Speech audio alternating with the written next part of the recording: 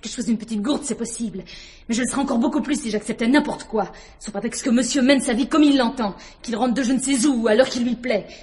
Comme ce soir, par exemple. Un soir comme tous les autres, malheureusement. Ben, je ne fais pas ce que je veux, Bernadette, je fais ce que je peux, c'est-à-dire l'impossible, tu le sais. L'impossible. Là, tu as raison. C'est pourquoi tu n'arrives à rien. Si tu te contentais du possible, ça irait mieux. En tout cas, nous mènerions une vie normale au lieu de poursuivre un rêve, qui, comme tous les rêves, ne se réalise jamais. Oh, jamais. C'est beaucoup dire. Ce n'est pas au bout d'un an qu'on peut dire jamais.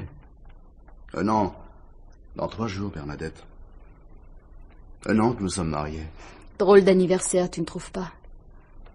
Le passerons-nous ensemble à la maison tous les deux? Mais justement. Et voilà, je m'en doutais. Qu'est-ce que tu fais, Eric, dans trois jours? Un gala De la figuration dans un film? Je suis comédien, Bernadette, c'est mon métier. Et comme tout jeune comédien, je débute. Et comme tout débutant, j'ai de la peine à percer, à me faire un nom. Il faut un commencement à tout, d'ailleurs, tu le savais. Je savais beaucoup de choses. Ou du moins, je croyais les savoir. Ce que je ne savais pas, c'est qu'on ne vit pas d'illusions. Et notre amour, ce n'est pas une illusion. Il existe, tu le sais bien. J'espère que tu n'en as jamais douté. C'est vrai, n'est-ce pas? Si ce n'était pas vrai, ce serait la fin de tout. À part toi, je n'ai rien. Si je me bats, c'est pour toi. Enfin, pour nous, si tu préfères, mais c'est la même chose. Presque. Pas tout à fait. Enfin, plus tout à fait. Tu m'as tellement déçu.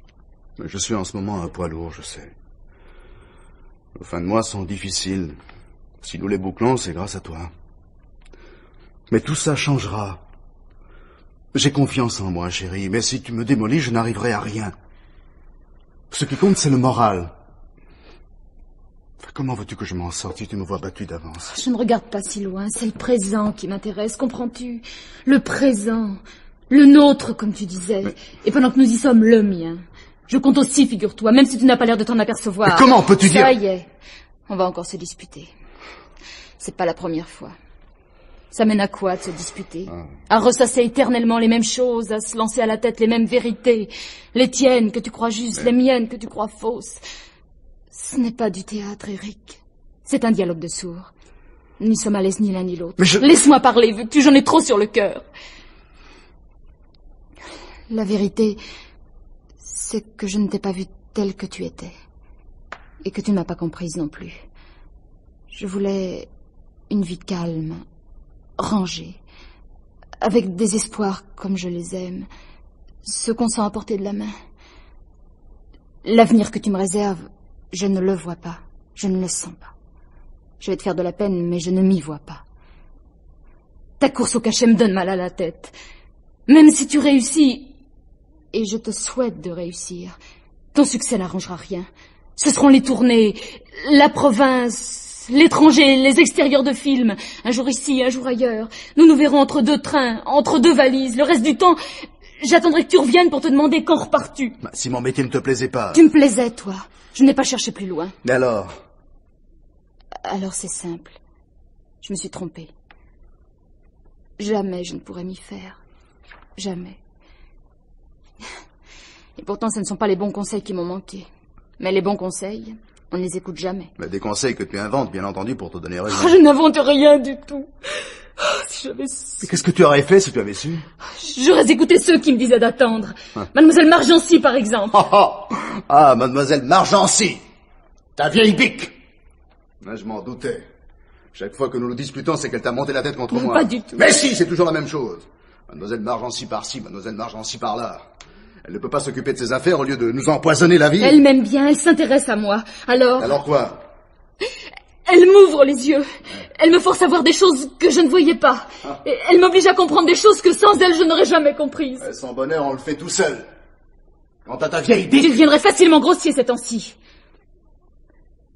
Mademoiselle Margency est mon chef de bureau. C'est une femme d'expérience. Si elle m'en fait profiter, je ne peux que lui en être reconnaissante. T'es reconnaissante de quoi? Je me le demande. De te séparer de moi? Car c'est de ça qu'il s'agit, pas d'autre chose. Ça lui fait mal, le bonheur des autres. Ça lui fait du bien de sentir autour d'elle des gens malheureux, et malheureux par sa faute. Mais tu ne jures que par elle. Mais pourquoi, bon Dieu, pourquoi? J'ai confiance. Ça suffit, il me semble. Elle est drôlement placée, ta confiance. Ah, si je m'écoutais... Mais tu t'écoutes, Eric. Tu passes ton temps à t'écouter. Moi? Parfaitement, toi. Mais j'aime autant que tu le saches. La grande scène du 3, ce sera pour demain, ou plus tard, ou jamais. En attendant, je vais reprendre des forces. Me reposer, dormir. Non, Bernadette, tu pourrais quand même... Qu'est-ce que je pourrais? Arriver demain en retard à mon bureau? Eh bien non, Eric n'y compte pas. Figure-toi que j'ai des horaires, moi, et que je mène une vie réglée, moi. Tout le monde ne peut pas en dire autant.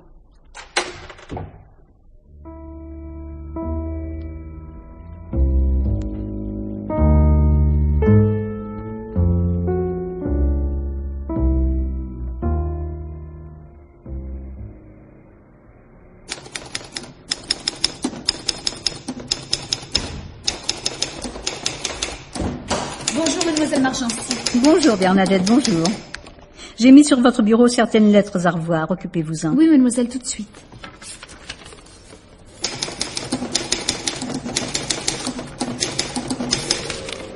Regardez-moi Bernadette, ça n'a pas l'air d'aller ce matin. Ce n'est rien, mademoiselle, ça va passer. Oh, ma pauvre petite, toujours la même chose, je parie. Je vous dis que ce n'est rien. Et puis... Et puis? Et puis je préfère ne pas en parler. Même à moi? Allons, allons, ne pleurez pas surtout, ça ne sert à rien et ce serait indigne de vous. Mais si, mais si, indigne de vous. La bonne volonté est la volonté de ceux qui n'en ont pas, je vous l'ai dit maintes et maintes fois. Avec de la volonté, on se tire toujours à son avantage des situations les plus contrariantes. Si vous saviez. Mais je sais, Bernadette, je sais. Et vous savez que je suis là pour vous aider chaque fois que vous aurez besoin d'un appui. Ma pauvre petite, je suis désolée pour vous. Je, je me suis encore disputée avec Eric. Quel malheur, mais il ne faut pas. Je voudrais bien, mais comment faire? Évidemment, c'est difficile, je le déplore, mais je le reconnais. Eric est impossible. Mais tous les hommes le sont plus ou moins. La sagesse est de fermer les yeux, de se boucher les oreilles et de s'accommoder de l'inévitable. Oui, mademoiselle. À moins, bien entendu, qu'il y ait une telle incompatibilité. Mais nous n'en sommes pas là, Dieu merci. Je ne sais plus. Il faut pourtant savoir et faire le point, et son examen de conscience par la même occasion. L'avez-vous fait? Je sais, mademoiselle. C'est difficile. Vous manquez par trop d'expérience, ma pauvre petite. Heureusement, je suis là. Oh, merci, mademoiselle. Je suis là, mais que puis-je faire? Peu de choses quand on y réfléchit. Sinon vous plaindre quand je vous sens malheureuse. Oh, tout ce qui est arrivé de ma faute. Taisez-vous, Bernadette. Vous vous êtes trompée, mais c'est réparable. Rien n'est définitif ici-bas, autrement où irions-nous? S'il faut chercher un coupable, et il y en a certainement un, cherchons-le ensemble et nous le trouverons. C'est Eric. Il est possible que ce soit lui, mais ne nous pressons pas trop de le juger. Avons-nous seulement le droit de le juger? Qu'il soit imparfait, c'est certain, nous le sommes tous. C'est vrai ce que vous dites. Le bonheur d'un ménage est une chose si fragile. Ma petite, voyez-vous, l'important, c'est de savoir ce qu'il emporte de ses qualités ou de ses défauts. Ce que je lui reproche, c'est qu'il me néglige, mademoiselle. Je ne le mérite pas. Certes non, ma pauvre petite, certes non. Il court toujours à droite, à gauche. Il n'est jamais à l'heure. Enfin, ce n'est pas compliqué, il n'est jamais là. À la rigueur, j'aurais pu le comprendre. À la rigueur, mademoiselle, vous voyez ce que je veux dire. Eric est trop pris par son métier. Une seule chose compte pour lui, son travail. Soyons justes, il veut réussir, ce n'est pas si mal. Ce n'est pas si mal, c'est vrai. Vous avez raison. Hmm, je ne suis jamais sûre d'avoir raison, j'essaie de me mettre à la place des autres. Honnêtement, humblement. Le métier de votre mari l'accapare, dites-vous. Ce serait parfait s'il lui apportait aussi toutes les joies possibles, tant spirituelles que matérielles. Or, je sais par vous qu'il ne gagne pas sa vie, donc il est pris théoriquement par son métier, mais pratiquement il n'a rien à faire. S'il s'agit d'un malheureux concours de circonstances, il est à plaindre, comme tous les ratés. Mais admettons que cette inactivité soit voulue, alors là, c'est navrant, ma pauvre petite. Navrant. Oh, je suis tellement malheureuse, mademoiselle, si vous savez. Je sais, mais je sais aussi que comme toute femme mariée, vous avez des devoirs. Oui, mademoiselle. Des devoirs envers lui. Oh, je sais bien. Et des devoirs envers vous. Ah, Mais forcément. Mais vous êtes jeune. À partir d'un certain âge, on se fait une raison, on accepte. Mais vous n'en êtes pas là. Pensez à l'avenir, mon enfant. Un avenir compromis en somme, ce n'est rien. Il y en a d'autres, grâce au ciel, qui vous tendent les bras. Laissez-vous faire une douce violence, rien n'est irréparable. On construit soi-même son bonheur ou son malheur. Puisque nous parlons d'avenir, Bernadette, il est entre vos mains. M'entendez-vous bien? Me fais-je bien comprendre? Oui, mademoiselle. Prenez du recul. Moi, je veux bien, mais comment? Cet Eric en prend vraiment trop à son aise. Par dignité, par respect de vous-même, vous ne devez pas accepter n'importe quoi sous prétexte que votre mari n'est pas n'importe qui, que vous l'aimez ou l'avez aimé, et qu'il doit tout représenter pour vous alors qu'en somme il n'est plus rien. Mais, si, mais si, j'ai raison. Euh, presque plus rien si vous préférez. J'aime mieux. Mais des mots, rien que des mots, qu'est-ce que ça change? Quand on descend la côte, ça va vite, vous verrez. Il ne faut pas attendre pour réagir d'être en bas ou plus bas. Allons, petite fille, d'une air, sapristi. Ou bien je finirai par croire que j'ai tort de m'intéresser à vous. Pas de réponse? Parfait. Eh bien, débrouillez-vous tout seul, Bernadette, je m'en lave les mains. Mais j'ai ma conscience pour moi. J'aurais fait ce que j'ai pu, ce que je devais faire. Adieu va, tant pis. Mademoiselle, je vous en prie, ne m'abandonnez pas. J'ai besoin d'être guidée. Toute seule, je ferais mal en croyant faire bien. C'est si compliqué ce qui m'arrive. Oh, si j'avais su. C'est toujours la même histoire. Au lieu de prendre conseil avant, on se lamente après. Voulez-vous me dire à quoi ça rime? De regretter ce qui n'est pas, ce qui ne peut pas être, ce qui n'a jamais été, ce qui ne sera jamais À rien À rien du tout, ma pauvre petite. Vous me faites pitié. Je vous en supplie, dites-moi ce que je dois faire. Je le ferai. Si ce n'est pas trop dur.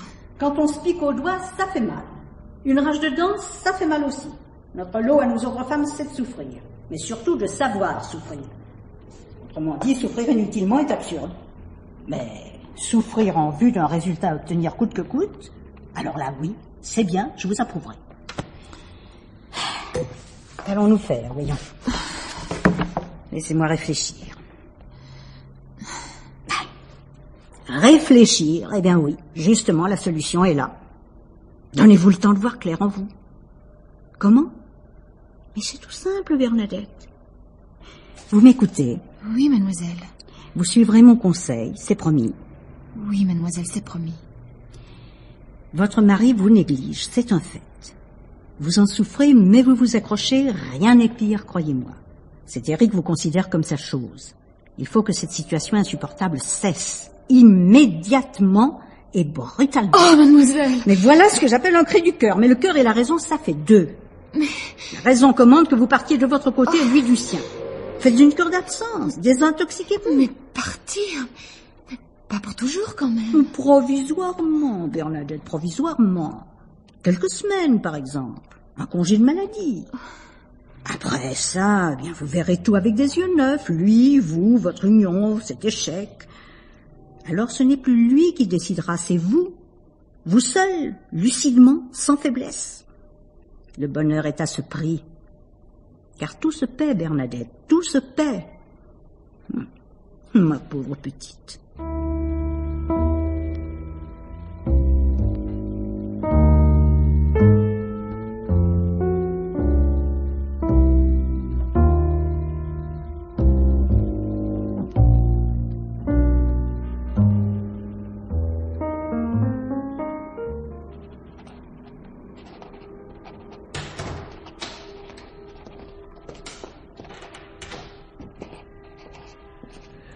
Bonjour Bernadette. Bonjour, monsieur Bourgeois. Vous voilà revenu au bureau Je suis si contente. C'est donc que madame Bourgeois va mieux? Malheureusement non. La maladie suit son cours. Elle s'affaiblit chaque jour davantage. Et pourtant, j'espérais... Oh non, il n'y a plus d'espoir. Le médecin a appelé un professeur en consultation. Ils l'ont examiné, puis je les ai vus. Ils voulaient me rassurer, mais leurs bonnes paroles ne servaient à rien. Et il fallait que je sache. Alors je leur ai demandé combien de temps il lui restait à vivre. Quelques semaines, deux mois au maximum. Mon Dieu. Se doute de rien, heureusement. Je voudrais en être sûr. Et par moments, quelque chose dans son regard. Ben, je peux me tromper. Je voudrais tellement me tromper. Et je me force à être gai. Elle n'a pas l'air triste non plus. Elle fait des projets comme s'il était encore temps d'en faire. Enfin, il fallait bien que je revienne au bureau pour assurer la fin de mois. Mais alors, quand vous êtes ici, elle reste toute seule? Oh non, non, j'ai pris une garde pour s'occuper d'elle. Vous avez raison, c'est mieux. C'est mieux, mais elle se désole. Elle trouve qu'elle nous coûte beaucoup d'argent. Je dois la tranquilliser, lui dire que tout va bien. Inventer n'importe quoi pour lui éviter des soucis qu'elle n'a pas besoin d'avoir. La dernière chose que je puisse faire, c'est qu'elle parte tranquille, rassurée. Lui donnant un peu de la confiance que je n'ai plus. Je profite de mon reste. Jusqu'au bout, nous aurons été heureux. Ce n'est pas beau, la vie. Hmm. Un coup dur pareil dans un si beau ménage. Ce n'est pas juste. Il y en a tellement d'autres qui ne vont pas. Le mien, par exemple. Hmm Non, allons, allons. Une dispute d'amoureux, je parie. C'est pas grave. Nous nous séparons. Qu'est-ce que c'est que cette histoire? Mais je vous connais tous les deux, Eric vous aime. C'est possible qu'il m'aime, mais il m'aime mal. Alors c'est comme s'il ne m'aimait pas. Comment? Non, monsieur Bourgeois, franchement, ce n'était plus possible. Je n'en pouvais plus. Continuer cette existence était au-dessus de mes forces. D'ailleurs, mademoiselle Margency trouve que j'ai raison. Oui, on n'a jamais raison de faire une bêtise. Mais si mademoiselle Margency vous pousse à faire celle-là, c'est pas bien. Il faut toujours lutter, Bernadette. Quand on s'épaule, on lutte mieux. Eric a besoin de vous. Est-ce que j'ai peu quelque chose? Moi aussi, j'avais besoin d'Eric. Mais quand j'ai cherché, il n'y avait personne. Au reste, mademoiselle Margency Oh, dit que... ne l'écoutez pas trop. Oui, je, la connais depuis beaucoup plus longtemps que vous. C'est pas la première fois. Comment ça? Hum, Oui, enfin, passons, c'est sans intérêt. Faites comme vous le sentez sans vous occuper d'elle. C'est bien ce que je fais? Croyez-vous? Elle a une expérience que je n'ai pas. Quelle expérience? C'est une vieille fille aigrie, connaît rien des hommes pour la bonne raison qu'aucun n'a voulu d'elle. C'est vrai que les autres réagissent comme elle aurait réagi, croyez-moi, c'est pas une référence. Vous ne l'aimez pas trop, je sais. Oh non, mais vous n'êtes pas du tout. Elle m'est indifférente. Son apparente méchanceté peut n'être que de la maladresse. Son physique la dessert. C'est probable qu'elle en souffre, mais personne n'y peut rien, n'est-ce pas? Qui sait? Il faut que je vous dise quelque chose, monsieur Bourgeois. Hum? Quelque chose de comique. Mais gardez-le pour vous. Oui. C'est bien simple, je n'en suis pas encore revenue. Ce matin, elle m'a demandé de relever dans l'annuaire une adresse et un numéro de téléphone. Le numéro de qui, je vous le donne en mille. Hein Celui d'une esthéticienne. La fameuse Jannick, vous savez Une esthéticienne Oui. Oh, la malheureuse. Eh ben, elle va en avoir du travail. Oh, monsieur Bourgeois. Ben, après tout, comme on dit, mieux vaut tard que jamais.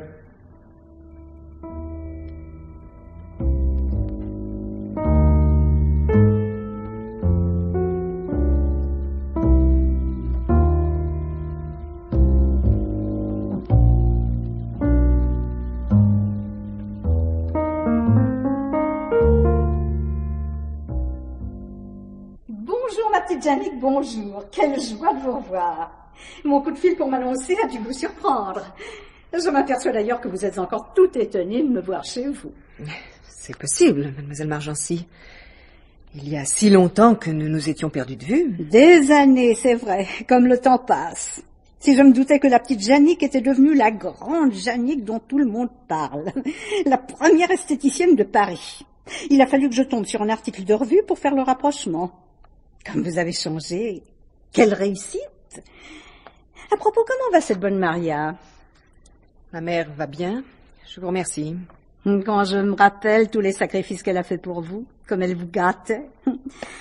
Ah, on peut dire qu'elle en a fait des heures de ménage pour vous élever. C'est une époque révolue. Pourquoi en parler?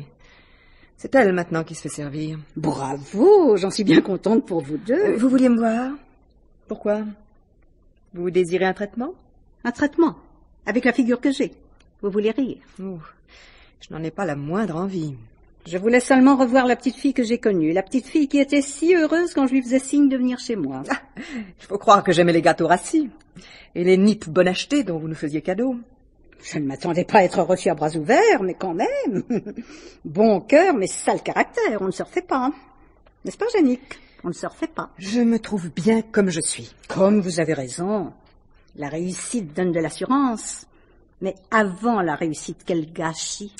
Je pense à votre pauvre mère, vous lui avez causé bien des ennuis. Oh, je vous en prie. Le passé est le passé, il est ce qu'il est. Personne n'y peut rien.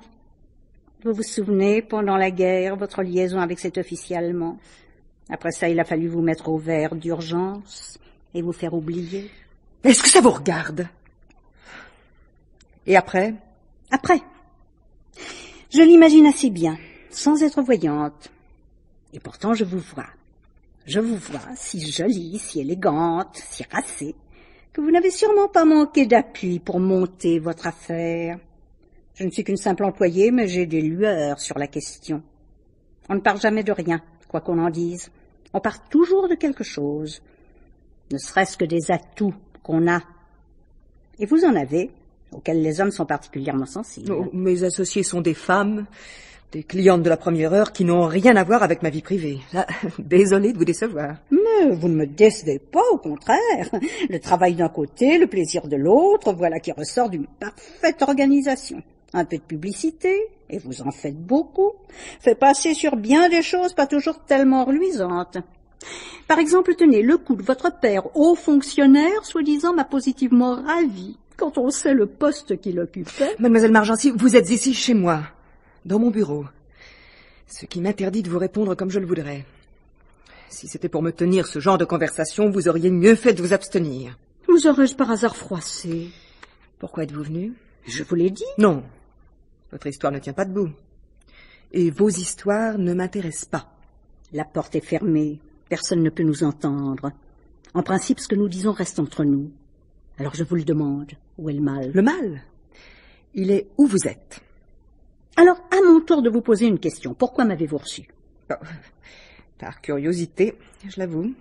La curiosité est un vilain défaut. Votre mère aurait dû vous l'apprendre. Assez Et là Sortez Vous croyez me faire peur? Oh non, je sais que rien ne vous arrête. Vous non plus, je crois. Et pourtant, si quelque chose, peut-être. La crainte du scandale. Ah, vous êtes venu pour en faire. Si j'étais venu pour en faire, croyez-moi, ce serait déjà fait. Alors? Alors rien. Vous m'avez déçu. J'ai horreur d'être déçu. Je venais en ami. Vous l'avez prouvé, parlons-en. Je répète, en ami. Mais je crains d'être obligé de réviser ma position. Faites ce que vous voulez, je m'en fiche pour ce que vous m'intéressez. Je m'aperçois qu'il est de mauvais goût d'avoir bonne mémoire. Il y a tant de choses, n'est-ce pas, Jannick, qu'on préfère oublier? C'est vous qui allez oublier. Et tout de suite encore. Vous y avez tout intérêt, mademoiselle Margency. Voyez-vous ça? Tout intérêt, croyez-moi. Tout intérêt.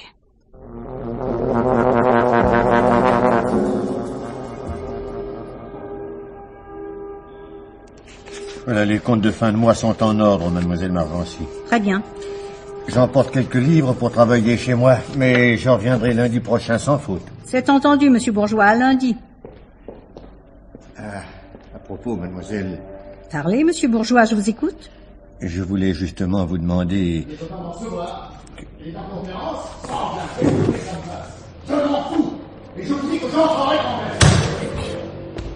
Qu'est-ce que ça signifie? De quel droit forcez-vous ma porte? C'est inimaginable. Et d'abord, qu'est-ce que vous voulez? Vous dire votre fête. Sans doute ferait-il préférable que je me retire, mademoiselle Mais non, restez. Ce que j'ai à dire peut être dit devant témoin. Vous ne me gênez pas, au contraire. Mais si ça n'arrange pas cette femme, tant pis. Laissez, monsieur Bourgeois. Notre acteur, une fois n'est pas coutume, va nous sortir sa grande tirade. C'est par votre faute que Bernadette m'a quitté. C'est par votre faute qu'elle est retournée chez ses parents en laissant juste un mot derrière elle. Nous deux, c'est fini. Si vous ne vous entendez pas avec votre femme, qui puis-je? Mais vous ne comprenez donc pas Elle est partie. Elle a quitté la maison.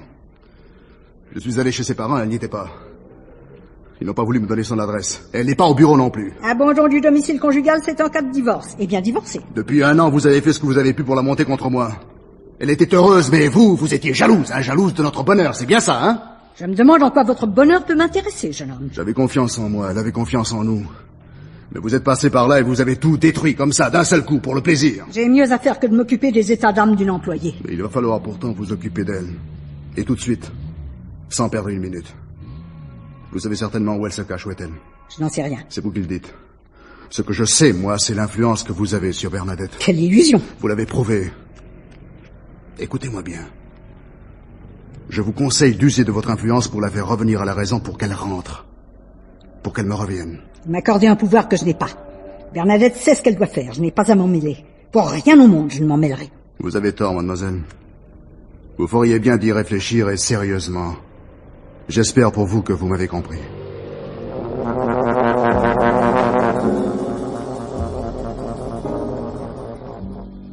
Vos noms, prénoms, âge, domicile. Durand Charles, 23 ans. J'habite au rez-de-chaussée. Votre grand-mère est concierge de l'immeuble. Oui, monsieur le commissaire. C'est chez elle que j'habite. C'est donc vous qui avez découvert le corps. Oui, monsieur le commissaire. Rien n'a été déplacé. Vous n'avez touché à rien. Non, non, rien. Je suis descendu tout de suite. J'ai couru au tabac du coin et j'ai appelé la police sans perdre une minute. Sans perdre une minute. Bon. Ben, ce que je voudrais savoir maintenant, c'est pourquoi vous étiez justement au second étage alors que vous habitez le rez-de-chaussée. Comment vous êtes entré chez la victime et pourquoi vous y êtes entré? Oh ben, c'est très simple, monsieur le commissaire. Il était environ 7 heures du matin, je faisais un peu de ménage pour aider grand-mère qui est âgée. Donc, pendant que vous briquez le deuxième étage, vous réfléchissez. Vous vous dites derrière cette porte, c'est bien possible qu'il y ait un cadavre dans l'appartement. Et comme la porte n'a pas été forcée, c'est que vous aviez un passe. Ah, moi, je veux bien. Mais il vaudrait mieux trouver autre chose. Vous ne croyez pas? Vous me mettez en boîte ou quoi? Pour être franc, je vous trouve un peu trop décontracté. Un peu trop sûr de vous.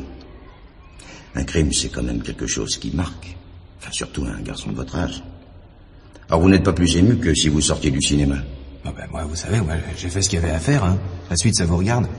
Chacun son métier. Ah bah tiens. À propos de métier. Lequel exercez-vous, jeune homme? Mécanicien. Oui, je fais en ce moment un stage à Paris. C'est pourquoi j'habite provisoirement chez ma grand-mère. À la fin de mon stage, je retournerai à Tours, dans, dans le garage de ma famille. Hmm, vous êtes organisé, je vois. Mais vous... n- Enfin, c'est un détail qui a son importance. Vous n'avez toujours pas dit pourquoi et comment vous êtes entré dans l'appartement du deuxième.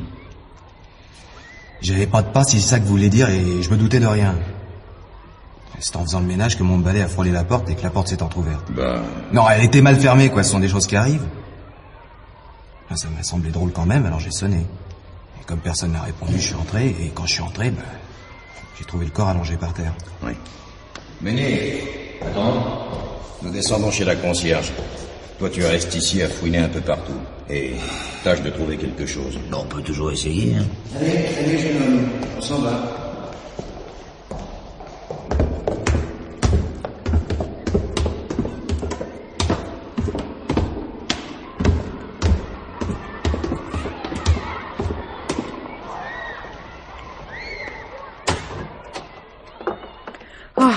Ah, c'est vous, monsieur le commissaire. Charles, donne-moi mon médicament. Tu sais, le tube dans le tiroir. Je vais en faire une maladie, c'est sûr. Dire qu'une chose pareille a pu se passer ici dans un immeuble si bien tenu. ah, si mademoiselle Margency était là pour le voir. Oui, mais elle n'y est plus. Alors, mademoiselle Margency était propriétaire de l'immeuble, m'avez-vous dit? Oui, et voilà trente ans que je tiens la loge. À mon âge, un coup pareil. Vous vous entendiez bien toutes les deux Oh, pou- elle avait son caractère. J'ai mes habitudes, alors euh, forcément. Grand-mère n'avait aucune raison d'en vouloir à mademoiselle Margency. Je n'avais pas encore posé la question, mais vous y répondez. Un esprit vif, on dirait. Bon, continuons. Bah et vous On se connaissait presque pas. Je pars de bonne heure, je rentre tard. Un bonjour, bonsoir à l'occasion, ça n'allait pas plus loin. Oui, autrement dit, vous ne savez rien. Mais qu'est-ce que je pourrais savoir? Mademoiselle Margency n'était pas causante. On se tenait chacun à sa place. Dans un sens, ça évitait les accrochages. On était plus tranquille. Nous voilà dans les ennuis. Ah, si c'est pas malheureux. Tout ça parce que Charles a voulu rendre service en se mêlant de ce qui ne le regardait pas. Dire que c'est moi qui lui ai demandé un coup de main pour le ménage. Eh ben, oh, oh, si j'avais su.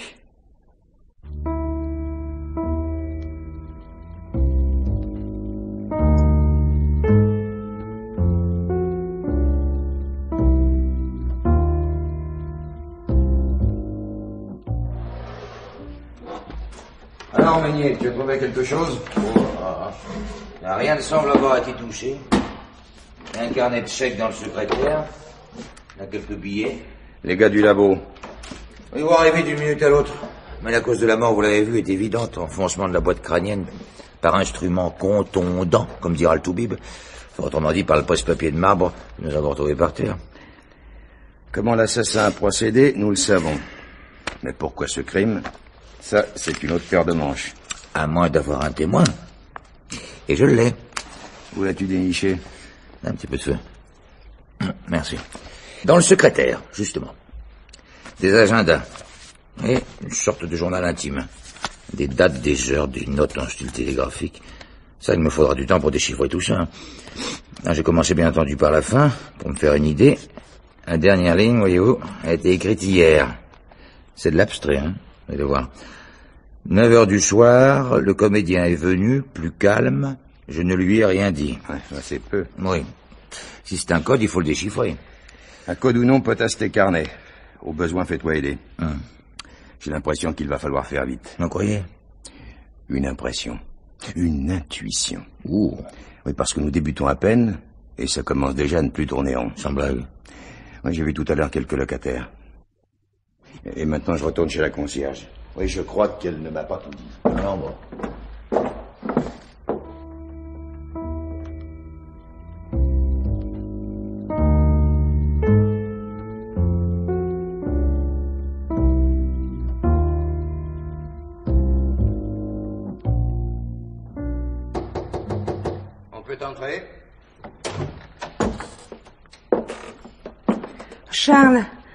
Donne une chaise à monsieur le commissaire. Non, pas celle du chat, l'autre. Grand-mère aurait peut-être le droit de se reposer un peu, non? Il y a pas dix minutes, elle a frisé la syncope. Même qu'un peu plus, j'appelais le médecin.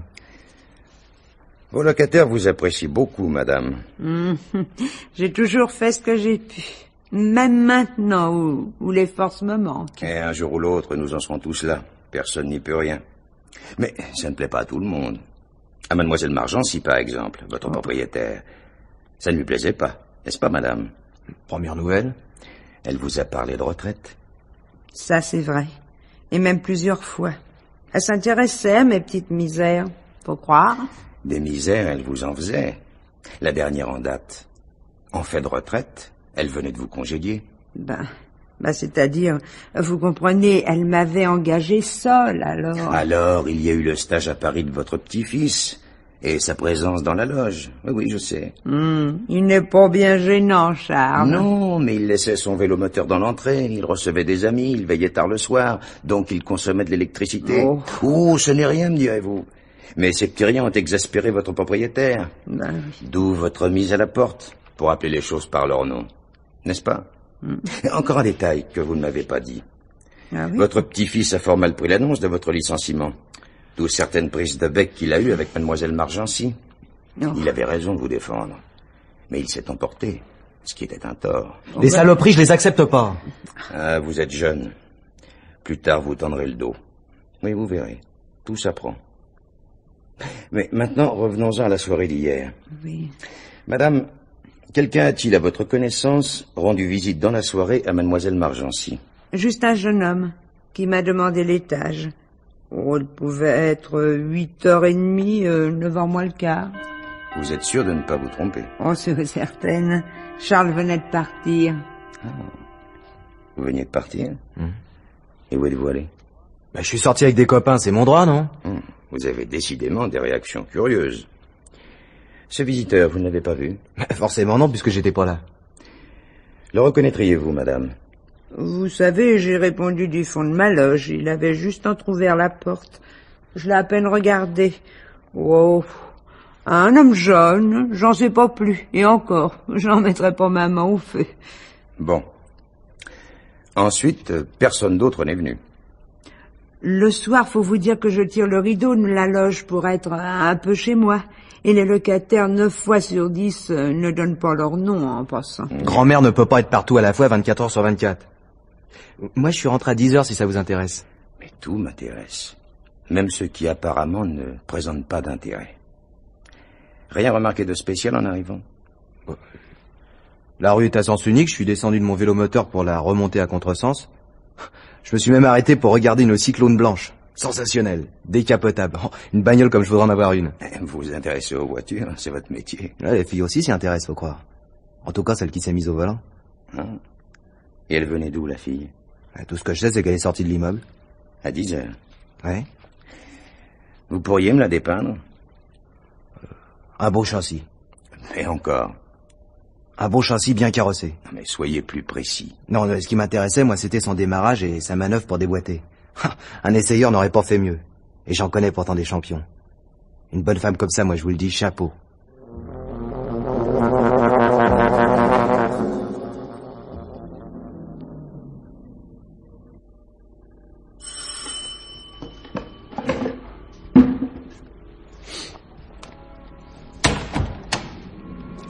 Monsieur Montlignon. Éric Montlignon. C'est moi? Qu'est-ce que vous voulez? Commissaire Lavergne, de la brigade criminelle. Comprends pas. Vous allez comprendre. Vous connaissez mademoiselle Margency? Un peu À peine. Suffisamment pour lui avoir rendu visite à son bureau. Je précise, avant-hier. Exact. Qu'aviez-vous à lui dire? Strictement personnel, c'est une affaire entre elle et moi. Une affaire qui a tourné mal, on dirait. Bon. D'abord, vous forcez sa porte. Ensuite, les personnes que j'ai interrogées m'ont parlé d'une discussion orageuse, d'éclat de voix. Comme d'habitude, on ne se dispute pas pour rien. Je voudrais connaître le motif de cette altercation. Vous allez me dire que ça ne me regarde pas, mais pourtant si. Ça me regarde. Vous devinez pourquoi? Bah justement, non Tous les journaux parlent de l'assassinat de mademoiselle Margency. Quoi? On l'a tué. Oui, c'est lui que je recherche. Vous ou un autre Eh ben, on peut pas dire le contraire, vous êtes direct. Je vous répondrai donc très franchement Eh ben, ça vaudra mieux. que la mort de cette vieille toupie me laisse indifférent. Pour un peu, je ferai l'épi au mur en guise de raison funèbre. Savez-vous ce qu'elle m'a fait? Elle m'a séparé de ma femme, tout simplement. Les démons en enfer, elle n'a que ce qu'elle mérite. C'est à peu près ce que vous lui avez dit. Et à peu près, en plus brutal. L'avoir devant moi m'inspirait. Faire un éclat ne sert généralement à rien. Mais qu'est-ce que vous voulez? Il fallait que ça sorte.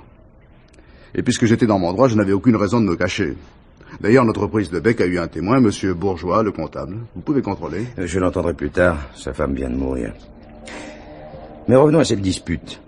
Croyez-vous que votre virulence arrangeait vos affaires? La guerre ne vaut pas la diplomatie. Euh, Tout à fait d'accord avec vous, je m'étais conduit comme un imbécile, je m'en suis rendu compte. Et vous avez changé vos batteries. Et je... Mais comment le savez-vous? Je veux dire, c'est une vague idée qui m'est passée par la tête sans que je l'ai mise à exécution. Si. Vous plaidez le faux pour savoir le vrai, vous. Vous voulez m'avoir à la chansonnette. Mais vous n'êtes pas chanteur. Vous êtes comédien. Et il se trouve que mademoiselle Margency tenait au jour le jour son journal intime. Alors, en voici un extrait.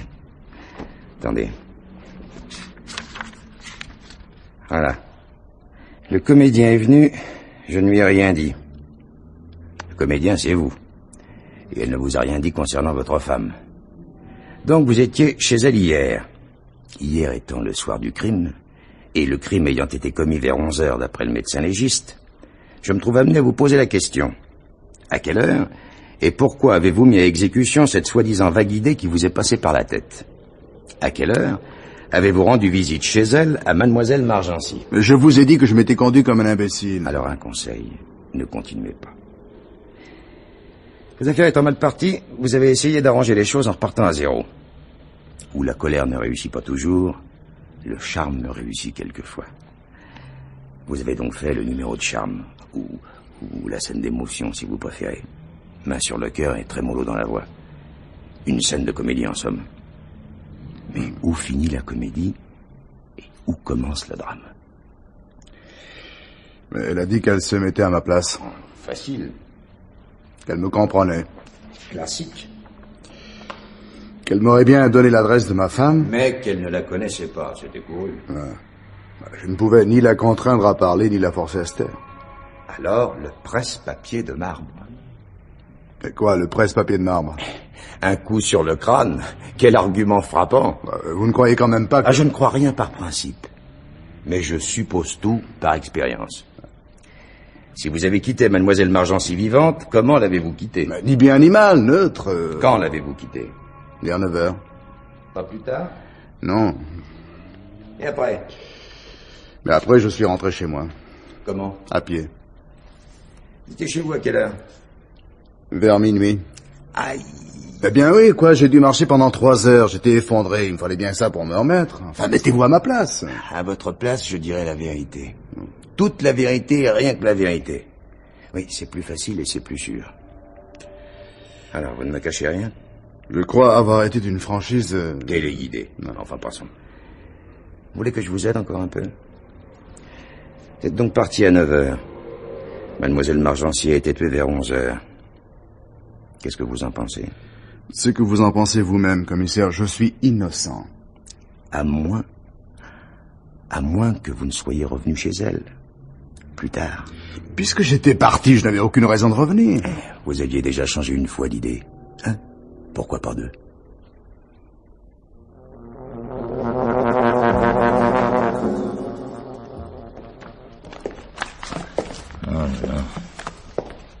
Édifiante, patron, la lecture du journal intime de Mademoiselle Margency. Quelle garce. Il prenait tout en note pour pouvoir leur servir des années après. Il y a dans ma famille une vieille tante du même genre, là. Tu me dis ça aujourd'hui, mais voilà ce que tu me disais il y a 14 ans, le mercredi 17 avril à 11h45. Eh ben laisse la tante où elle est. Parle-moi plutôt de la collection d'agenda. Oh, ça, il y a un peu de tout là-dedans. J'ai pourtant trouvé quelque chose d'intéressant. 48 heures avant le crime, deux lignes en abrégé, style petites annonces. Vu. Jannick, cette orgueilleuse, depuis ma visite, elle n'emmène pas large. À suivre. Le prénom, tu as dit? Jannick. J'ai retrouvé le même à plusieurs reprises, vers les années 44-45. Le truc dans le même genre. D'ailleurs, j'ai noté, tenez, voilà. Et Jannick est partie se mettre au vert, ce qu'elle avait de mieux à faire, maintenant que son aubert-lieutenant est rentré chez lui. Je me demande... On verra bien. Bah, pour l'identifier, ce sera difficile. Hein. Des Jannick, il doit y en avoir quelques-unes. Mais je connais celle qui nous intéresse. Enfin, j'ai son adresse. L'esthéticienne, tu as dû en entendre parler Le salon de beauté en vogue. Oh, moi, vous savez, les salons. hein. Après le livre de rendez-vous que j'ai trouvé sur le bureau de Mademoiselle Margency, elle a dû en effet aller la voir. Ah oui, quoi? Comme par hasard, 48 heures avant qu'on ne la trouve assommée. Tu vois Nos renseignements se recoupent. Un coup de peau, hein Dommage que ça n'arrive pas plus souvent. Attends. Jannick, 271 boulevard Malziam. J'y vais.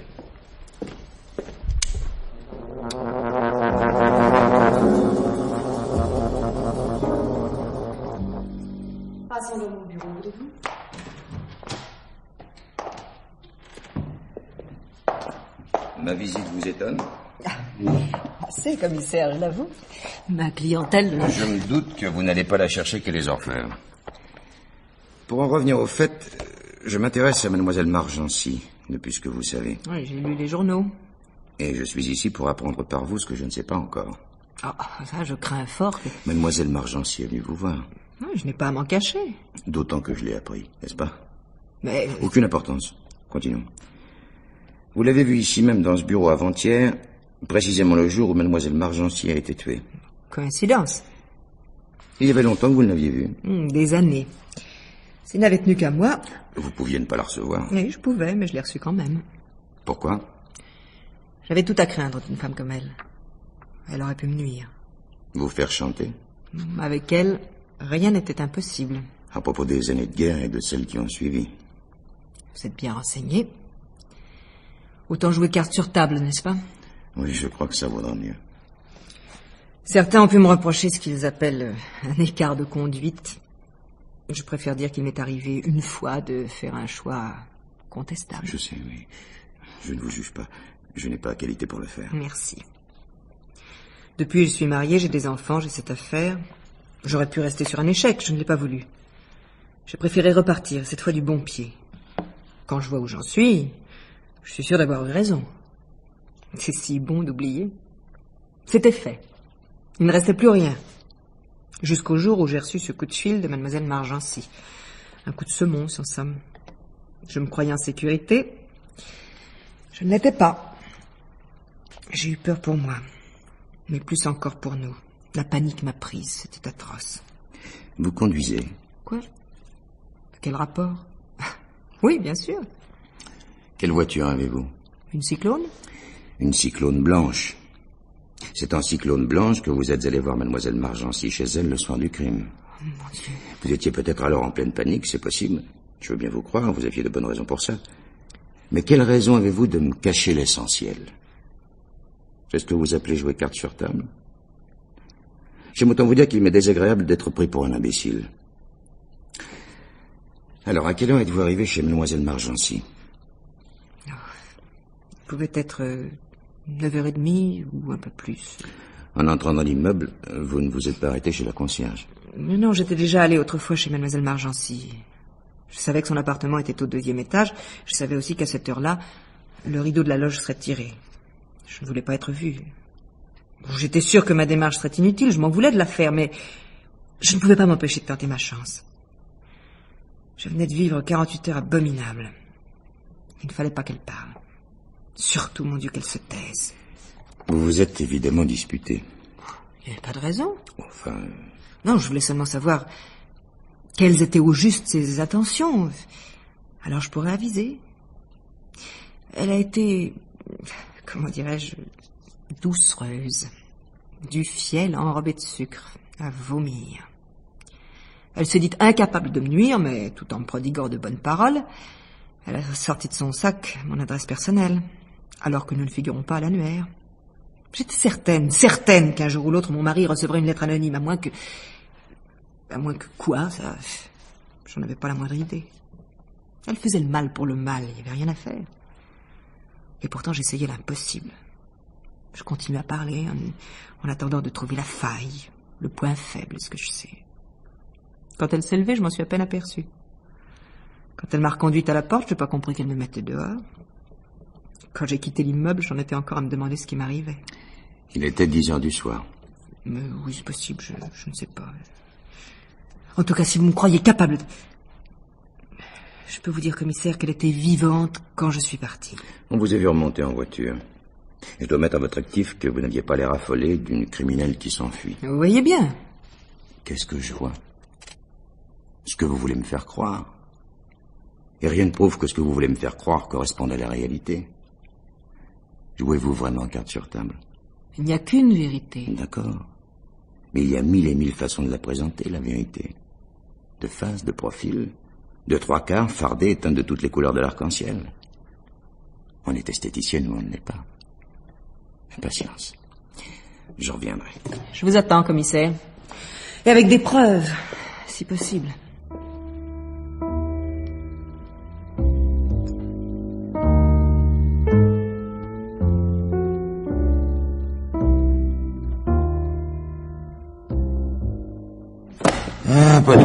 Commence à en avoir ma claque, hein, vivement l'été. Les vacances, la pêche. À la pêche, au moins, on attrape quelque chose de temps en temps.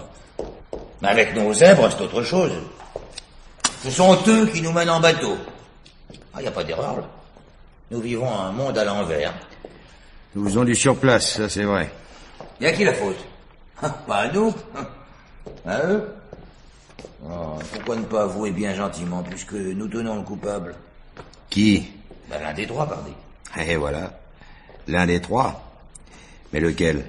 Ah, le petit-fils de la concierge, là, ce Charles, avec ses grands airs. Je serais pas fâché de, de le coller au trou, moi. Avec quel motif à la clé? Sa grand-mère allait être virée, d'accord? Le geste manquait d'élégance, d'accord aussi Mais amour filial ou pas, et sympathique ou non, rien ne prouve qu'il soit l'assassin. Mais rien ne prouve non plus qu'il n'ait pas fait le coup dans la soirée. Sa découverte du cadavre à 7 heures du matin ne serait alors qu'une mise en scène. Éric Montlignon, alors Le malheureux époux laissé pour compte Crime passionnel au second degré, besoin de vengeance. Ça se tient. Bon, ou plutôt ça se tiendrait. S'il ne prétendait pas maintenant s'être arrêté dans un bar aux environs de 11 heures. Le barman, d'après lui, devrait pouvoir confirmer. Là, auquel cas, il aurait quelque chose qui, qui ressemble à un alibi. Alibi, si on veut. Un alibi de complaisance, c'est déjà vu. À creuser, mon vieux, c'est ton affaire. On va donc le voir, ce barman. Flanque-lui la frousse. S'il se dégonfle, notre Eric est cuit. Autrement, nous serons bien obligés d'admettre qu'il a quitté mademoiselle Margency vers 9 heures, comme il l'affirme, qu'elle était bel et bien vivante, puisqu'elle a pu noter sa visite sur son fameux agenda, et que l'esthéticienne l'a vue après lui. Ah, la belle Jannick. Oui. Ce serait dommage pour elle, mais si Eric s'en tire, la voilà dans le bain jusqu'au cou. Hmm. Elle était bien partie pour tout nier en bloc. Sans la cyclone blanche, je ne l'aurais jamais coincé. Un bon point quand même pour le petit-fils de la concierge. Un bon point, un bon point. Si c'est lui qui a fait le coup, il avait tout intérêt à embrouiller les pistes. Et reconnaissons que si Yannick est la coupable, il a sans le savoir tapé dans le mille. Nous voilà bien avancés, patron. Alors, qu'est-ce qu'on fait?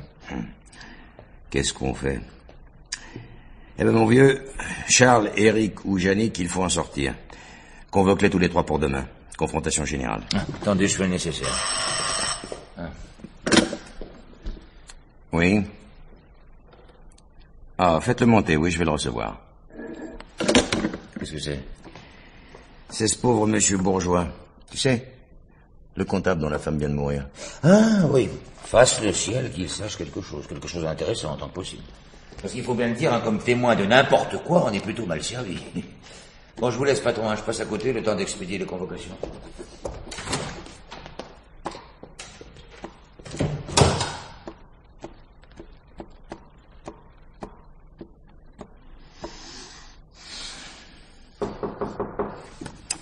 Entrez. Bonjour, monsieur bourgeois. Bonjour, Asseyez-vous. Merci. Euh, je suis au courant. Permettez-moi de vous présenter mes condoléances. Merci, monsieur le commissaire. La direction m'a dit que vous auriez aimé me voir. Je vous sais gré de m'avoir attendu. Me voici tout à votre disposition. À vrai dire, je ne sais dans quelle mesure vous pourrez m'être utile, car si nous avons des suspects, rien ne permet de les confondre, faute de preuves. Ils avaient tous une raison d'en vouloir à mademoiselle Margency, mais il faudra autre chose pour que l'enquête aboutisse. Voyons, monsieur Bourgeois. Vous qui travaillez depuis longtemps avec mademoiselle Margency. Oh, pas loin de dix ans, monsieur le commissaire. Vous la connaissez bien. Mieux sans doute que beaucoup. Monsieur Bourgeois, était-elle aussi dure qu'on veut bien le dire? Elle est difficile à juger car elle était insaisissable, se mêlant de ce qui ne la regardait pas, intervenant à tout bout de champ et, et toujours hors de propos. En somme, elle était, d'après vous, plus, plus maladroite que méchante. Elle avait d'elle, en tout cas, une très haute opinion, ce qui la posait auprès des jeunes. Ça, beaucoup au bureau lui demandaient des conseils que, malheureusement, il les suivait. Bernadette, par exemple, la dernière en date, qu'elle est parvenue à séparer de son mari. Mais des exemples comme celui-là, j'en ai vu beaucoup. Elle était jalouse du bonheur des autres Je ne sais pas. Je ne me suis jamais posé la question. Vous savez, pour moi, elle ne présentait pas le moindre intérêt. J'avais d'autres soucis, combien plus graves. Oui, je comprends. Mais je m'en voudrais de vous retenir, monsieur Bourgeois. Euh, Finissons-en tout de suite. Avec vous, comment était-elle? Ni meilleur ni pire. Et pourtant, elle m'a aidé. Ah, c'est vrai. Elle m'a aidé quand ma femme est tombée malade il y a deux ans. Et au début, le docteur ne se prononçait pas, il pouvait rechuter ou guérir. Pas d'espoir remis, en espoir déçu, il m'a mis un jour devant le fait brutal. Tout a été tenté, il n'y a plus rien à faire, votre femme est perdue. On s'est rendu compte de rien, je suis resté le même qu'avant. La fin approchait, mais la vie continuait, ou enfin semblait continuer. Il vous a fallu beaucoup de courage. Plus de courage encore qu'au mari de Bernadette. Le croyez-vous capable d'avoir tué mademoiselle Margency? Tout le monde est capable de tuer. C'est une question de circonstance. Vous croyez donc? Oh, je crois à la malchance. Je suis bien forcé d'y croire. Oui, bien sûr, la malchance. Ouais, ma femme ne pouvait plus sortir, elle ne bougeait plus de chez elle, aller du lit au fauteuil la fatiguait, tenir sa maison était au-dessus de ses forces, et Dieu sait pourtant si elle était courageuse. J'ai engagé quelqu'un, une infirmière. Le docteur passait plusieurs fois par semaine. Un professeur est venu, on lui faisait des piqûres, elle ne souffrait pas. Je crois pas qu'elle ait souffert. Enfin, à moins qu'elle aussi ne m'ait joué la comédie. Je ne sais pas, je ne le saurai jamais. Nous nous sommes peut-être mentis jusqu'au bout pour ne pas nous faire de mal. Oui, je comprends. Moi, surtout, je lui ai menti. Elle me disait, je te coûte cher. Et je répondais, mais non, tout va bien, ne te fais pas de soucis. Les soucis, je les gardais pour moi. Les fonds baissaient. Nos économies étaient loin. J'ai fait appel à la maison pour une avance, puis une autre, encore une. Ça ne pourrait pas durer longtemps, mais puisque ça ne pouvait pas durer, comme je vous l'ai dit, mademoiselle Margency m'a aidé. Mes demandes, c'est elle qui les a transmises. Vous aviez raison. Il faut se garder de juger trop vite, ou bien on se trompe. J'emportais des livres chez moi, je travaillais près de ma femme, je ne voulais pas perdre une de nos semaines, de nos minutes, de nos secondes. Et le temps a passé si vite. Nous serions ensemble jusqu'au bout, quoi qu'il arrive. Mais je ne pouvais pas tout prévoir. Le jour, vous savez, où le mari de Bernadette a forcé la porte du bureau. Eh bien? J'avais encore besoin d'une avance. Nous n'avions plus rien. J'ai pas eu le temps d'en parler à mademoiselle Margency. Nous avons été interrompus par l'éruption d'Éric, Et ensuite, il n'était plus question de lui parler de quoi que ce soit. Le moment était trop mal choisi. Je... Jamais je ne l'avais vu si en colère. Et pourtant, s'il vous fallait à tout prix... Je ne pouvais plus attendre. Il le fallait. Vous voyez bien qu'il le fallait. Alors le soir, quand l'infirmière a fait sa piqûre et que ma femme s'est endormie, je, je lui ai demandé de rester encore un peu et je suis parti. Mademoiselle Margency n'était pas autrement satisfaite de me voir, surtout si tard, mais elle m'a quand même reçu. Ça m'a donné confiance. Vous êtes donc allé chez elle, vous aussi Puisqu'il n'y avait pas moyen de faire autrement. Le soir du crime Eh Oui, que pouvais-je faire d'autre? Le docteur était encore venu dans la journée. Pour ma femme, c'était une question de jour ou d'heure, la fin. Elle ne s'est pas trompée, puisqu'elle est partie le lendemain. Je suppose quand même que mademoiselle Margency, enfin, quand vous lui avez fait part de la situation... Oh, si vous l'aviez entendu... De l'argent. Toujours de l'argent. Pourquoi faire? Des consultations, une infirmière, et puis quoi encore? On vit suivant ses possibilités, on doit mourir selon ses moyens. Faites-la transporter à l'hôpital. J'ai dit non, bien sûr. Et puis après... Après, je me suis abaissé. J'ai supplié. J'aurais fait n'importe quoi pour effacer ce sourire, car elle souriait. Et puis, brusquement, ses traits se sont tendus. Elle a marché sur moi en serrant les poings. Oh. Continuez, monsieur. Ah, alors, je... Oh, je l'entends me parler comme si elle était encore en face de moi. Vous allez perdre votre situation. Vous vous mettez sur le sable, pauvre imbécile. Tout ça parce que rien n'est trop beau pour madame. Est trop cher. Madame a des goûts de luxe. Vous lui payez toutes ses fantaisies, vous lui passez tous ses caprices. Elle voudrait un château, vous le lui donneriez. On ne se met pas sur la paille. Pour satisfaire les caprices d'une mourante. Oh, oh. Continuez, monsieur. Oh, j'ai voulu la faire taire. J'ai senti sous ma main un presse-papier de marbre. Comme je lui aurais donné une gifle, je le lui ai lancé à la tête. Je ne pensais pas aux conséquences. Mais après, je suis parti, monsieur le commissaire. Ma femme m'attendait.